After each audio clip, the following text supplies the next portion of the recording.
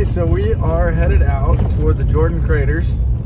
Uh, we were trying to go to the Cow Lakes campground, but it is not an option the way that we went. So um, we, sorry, going through the water. Um, so we decided to backtrack just a little bit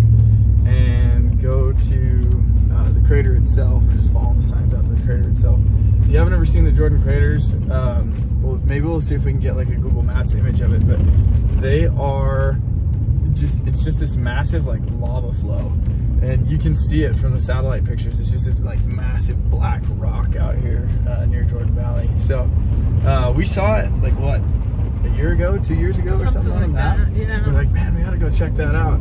And uh, we're just finally doing it. We have a, uh, some friends from Payette that we're uh, headed out here with, and we'll see how it goes. Uh, it is currently 25 degrees, and our sleeping bag is a 20 degree sleeping bag quilt thing.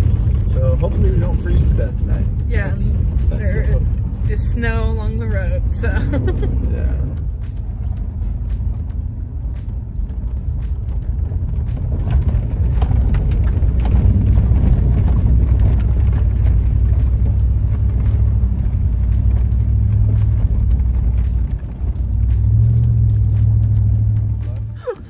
So we made it out here. It's freezing cold, but we are in a gravel pit. I don't even know if you can see it. Yeah, a big gravel pit we found. Did not make it to the craters. So last night was a little eventful. It was super cold and windy, um, but we made it. We got in the back and got to sleep in and uh, did okay. We had some heated up Nalgene bottles and had the dogs in there to snuggle with and each other there to snuggle with and got warm enough that we could go to sleep. Uh, this morning we're here. Uh, we're gonna put everybody in the pickup and head into the craters. There's some pretty serious snow in between here and there. So, so the road didn't go where we thought it would. Just ends up going around the whole crater system. So we decided to park and hike our way in and check out what we found. Hiking down by this creek, through this little canyon, trying not to get cliffed out.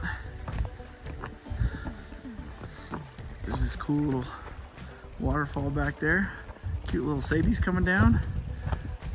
How cold is it, Sadie's? very cold. 20 degrees. Oh man. Sun coming up over here. Dogs are loving it.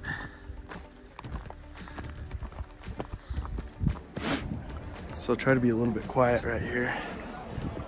But the water is running underneath all these rocks.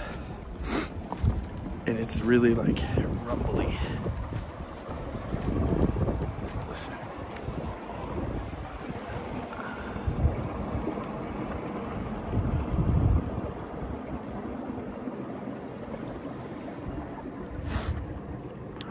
Out there's a huge lava flow.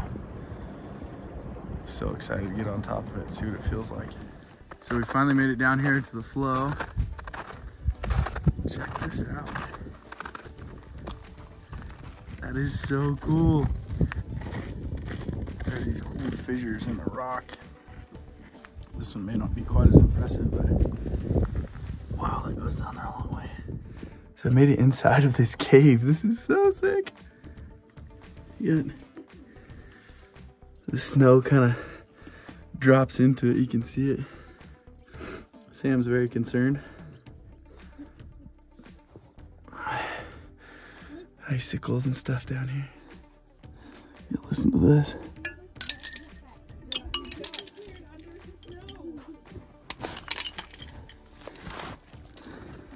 We've actually had to be careful because there's like sinkholes out here.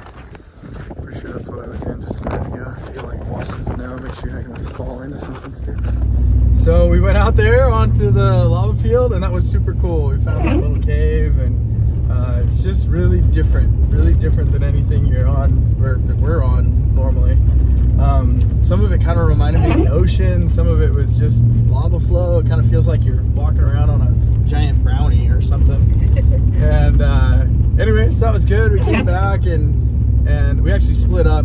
Um, Mercedes and Caitlin came back and started breakfast, and then Zach and I walked around for a little bit with the dogs and saw some more stuff, and uh, got back together, started making breakfast, and, and like got breakfast made, and we are eating breakfast. It was really tasty. I had some potatoes with green peppers and onions and eggs and cheese, and oh man, it was good.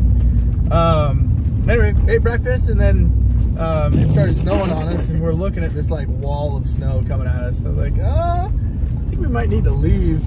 And Mercedes is like, yep, let's go. Anyway, so we're now in the pickup, and we'll show you the snow. Oh yeah, and there've been a ton of these water crossings coming in here.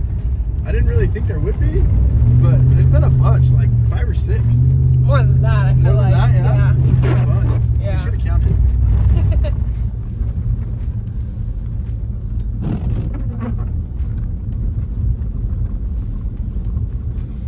glad Sam's foot wasn't actually hurt.